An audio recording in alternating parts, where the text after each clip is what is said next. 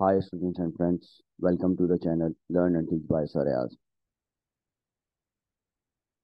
So I will continue my solution for 5070 for summer 2023 and the variant was 11. I'm done till 25, so I will continue from 26. Stainless steel is an alloy. It contains iron and more than one other element. Which elements other than iron are commonly used in stainless steel. In steel, we know that carbon is also there beside iron. So either C is correct or D is correct. Both A and B is incorrect. So in stainless steel, usually add nickel because it resists corrosion. It's used in stainless steel. 27, the equations for some of the reactions of metals Q, R, and T are shown. These are the reaction. 2Q NO3 plus Cu gives 2Q gives Cu NO3 whole twice. R plus TSO4 gives T plus RSO4. T plus H2SO4 gives TSO4 plus H2. Using the equations, what is the order of reactivity of QRT? R is more reactive than T T is more reactive than hydrogen, which means it's above hydrogen. And Q is replacing copper. Uh, sorry, copper is more reactive than Q. So Q will be the least reactive one here in this case. So the sequence uh, will be RTQ. C will be the right answer in this case. 28. Zinc is used to galvanize iron, which prevents the iron from rusting. Which statements are correct? Number one, the layer of zinc forms a barrier between the iron and the oxygen and water in the atmosphere. This is correct. Number two, zinc will oxidize before the iron does, even if the layer of zinc is crashed. This is also correct. Three, when iron rust, atoms of iron gain electrons to form iron. This is wrong because during rusting, iron loses electrons. So only 1 and 2 is correct. So A will be the right answer in this case. 29. Three statements about the structure of aluminium are shown. Number one, the electrolyte is aluminium oxide dissolved in molten cryolite. This is correct. This is done in order to reduce the melting point of aluminium oxide. Two, carbon is used for both the cathode and the anode. This is also correct. Three, carbon dioxide is given off at the cathode. Carbon dioxide is given off at the anodes, not cathode. So only one and two is correct. So A will be the right answer in this case. 30. What is the cause of deoxygenation of water in a lake? It's soluble fertilizers. It's neither acid rain or excess calcium hydroxide or insoluble nitrates. So only choice D is the right answer in this case. 31. Dissolved substances can cause eutrophication and the deoxygenation of water. How many of the ions show shown cause this effect? So we have Cl negative ion, CO3 2 negative ion, Na plus ion, NO3 minus ion, and PO4 3 minus ion. NO3 and PO4 3 minus both are coming from fertilizers. So both of these are responsible for the oxygenation of water. PO4 3 minus also comes from detergent. So we have only two ions responsible for this. So B will be the right answer in this case. 32, which statement about global warming is correct? A, methane produced by digestion animals has no effect on the rate of global warming. This is wrong because methane is responsible for global warming as it absorbs heat and radiate in the atmosphere. The products of burning fossil fuels have no effect on the rate of global warming. This is also wrong because whenever we burn fossil fuels, we get carbon dioxide. It's one of the culprits responsible for global warming.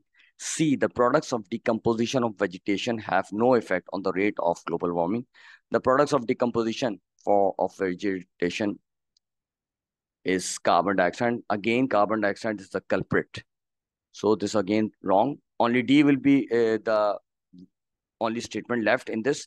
So D must be the right answer. The products of photosynthesis have no effect on the rate of global warming. This is right because the products of photosynthesis are oxygen and glucose. 33. The structures of three compounds W, X, and Y are shown. This is W, X, and Y. Which statements about these three compounds are correct? Number one, W and Y are both alcohols and X is a carboxylic acid. Look at the functional group in W and Y. W contains OH and Y also contains OH. So both of these are alcohols. This is correct. What about X? X contains COOH, which is carboxylic group. So one statement number one is correct. Number two, W, X, and Y have the same molecular formula. Let's write the molecular formula of these compounds. For W, there are three carbon atoms. So I will write C3. How many hydrogen atoms? 3 plus 3, 6, 7, 8, H8, oxygen, O2. Molecular formula of X, 3 carbon, right? C3, H, 3 plus 2, 5, 6, H6, and O2. So this is not the same molecular formula, so no need to do the working for Y. So this is incorrect statement.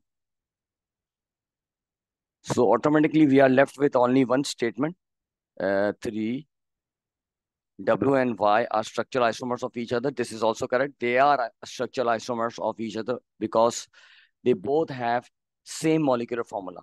For your convenience, I am working out the molecular formula for Y. How many carbon atoms? Three carbon atoms. Three C3 hydrogen atoms. Let's count the hydrogen atoms. Three plus one, four. Four plus two, six. Six plus one, seven. Uh, 6 plus 1, 7. 7 plus 1, 8. H8, O2. So both of these have same molecular formula, but different structures. So they are structural isomers of each other. So the only answer here, which is correct, is B. Choice D is the correct answer.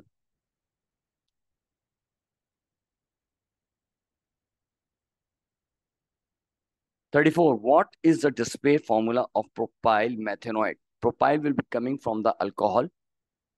So that alkyl group must be propyl. So methanoate, methanoate will be coming from the carboxylic acid. So let's see A. What is A? It's a carboxylic acid.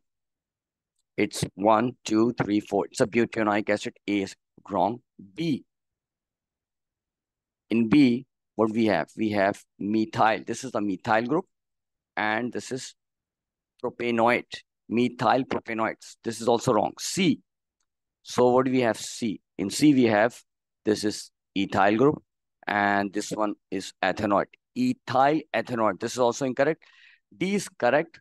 Why? Because we have propyl and this one is methanoate. 35. The table shows some of the fractions obtained by the fraction distillation of petroleum and their uses. Fraction 1. Bitumen. Use making roads. This is correct. Number 2. Kerosene, paraffin, chemical feedstock. This is wrong. This is used as jet fuel. 3. Naphtha. Used as jet fuel. This is also incorrect. 4. Refinery gas. They are used in heating and cooking. So both 1 and 4 are correct. So choice B will be the right answer for this question. Number 36, which equation shows the reaction of ethane with chlorine in the presence of ultraviolet light? This involves the substitution of hydrogen atoms whenever alkane is reacted with halogen. So in one, A choices C2H6 plus Cl2 gives C2H6Cl2. This is not substitution reaction we are getting only one product. So this is wrong. Number P, C2H6 plus Cl2 gives C2H4Cl2 plus H2. This is also incorrect. The reason is that during substitution reaction, one of the hydrogen is displaced by one chlorine atom and the products will be chloroalkane plus hydrogen chloride.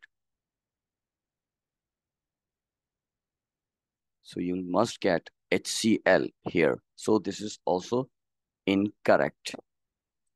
C, C2H6 plus Cl2 gives C2H5Cl plus HCl. This looks correct to me. The reason is that one of the hydrogen is replaced by chlorine to give HCl and C2H5Cl. Last one, C2H6 plus Cl2 gives 2CH3Cl. This is also incorrect, getting only one product. So C will be the right answer for this question. 37. Hexane 3-ol is an alcohol. This is hexane 3-ol.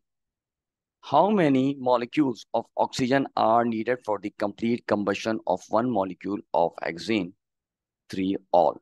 So we need to make an equation for this. We have six carbon atoms.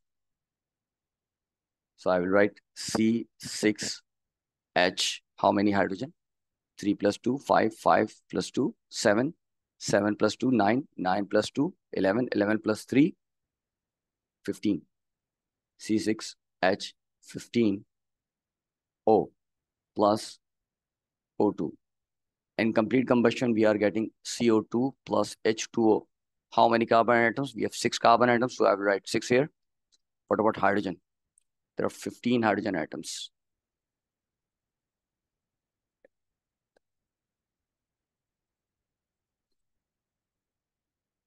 Sorry, we have 14 hydrogen atoms, not 15. Sorry. So I will write 7H2O. What about oxygen? So 6 2s are 12. 12 plus 7. We must have 19 oxygen. So on the reactant side, we have how many oxygen? We need uh, to balance this oxygen molecule in order to get 18 oxygen. So I will write 9, 9 moles of oxygen. So A must be the right answer for this one. 38. An organic compound P is dissolved in water. The concentration of the solution is 0.1 mole per dm cube and the pH is 3. A solid is added to the solution and effervescence is seen. Which equation could represent this reaction?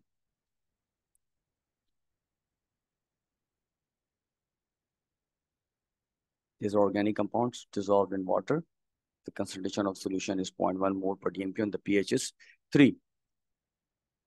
Point is that it is organic compound. It is not mineral acid. pH is 3, but it's not a mineral acid. So automatically choice D is incorrect. Now they have added solid. Effervescence is seen. When they are saying effervescence seen, it means there must be hydrogen gas produced. So I'm looking at the equations one by one.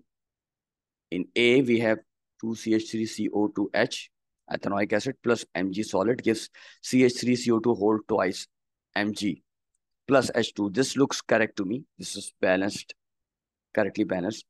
B, 2CH3CO2H, ethanoic acid, plus 2Mg solid, against reacted with magnesium. Product 2 CH3CO2 Mg aqueous. This is incorrect. H2 is correct, but this is incorrect. The reason is that Mg belongs to group 2, so it carries plus 2 charge. What about the charge on CH3CO2? All the organic acids, they carry minus 1 charge. So ignore their charges. So these subscripts will be exchanged and you will get what? You will get CH3, CO2 whole twice Mg. That's why this looks correct to me. C, 2CH3CO2H plus K2CO3 gives CH3CO2 whole twice K plus CO2 plus H2. This is also incorrect. The reason is that K belongs to group 1.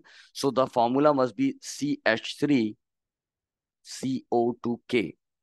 You can't have CH3CO2 whole twice K. So only choice A will be the right answer in this case.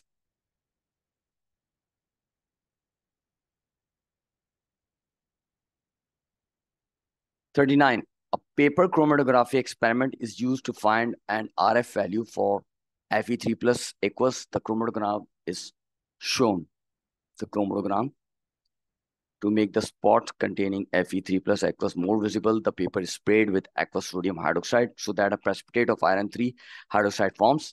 In the chromatogram, the RF of Fe3 plus is given by how you will get it. You will get it by dividing X by Y. So either A is correct or B is correct. You can't have C or D as correct answer. Okay, the next one. And the color of the precipitate is 2. For Fe3 plus must be red brown. So only choice A will be the right answer in this case. Last, laboratory has a powdered mixture of solid iodine and solid carbon. Iodine is very soluble in hexane and slightly soluble in water. Carbon is soluble in both solvents. One sample of the mixture is shaken with hexane.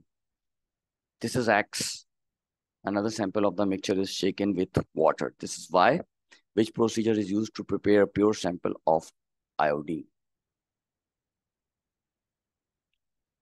A. X is distilled. X is distilled and the distillate is evaporated to dryness. This is incorrect because you can't distill the X. The reason is that iodine is soluble in X, but carbon is not soluble in this. X contains hexane. Fine, so this is incorrect. B, X is filtered. This looks correct to me. And the filtrate is allowed to evaporate to dryness. This looks correct to me because when you filter the X, you will remove the carbon, which is insoluble in both the solvents, and then you will evaporate the filtrate in order to get iodine. C, X is filtered. Okay, now you are filtering X, and the residue is allowed to evaporate to dryness. Now, residue is the carbon. Residue is the carbon. We, we are not interested in getting carbon. We need to get the pure sample of iodine. So this is incorrect. D, Y is distilled and the distillate is evaporated to dryness. Again, no need to go for the distillation. This is also incorrect. So only choice B is correct in this case.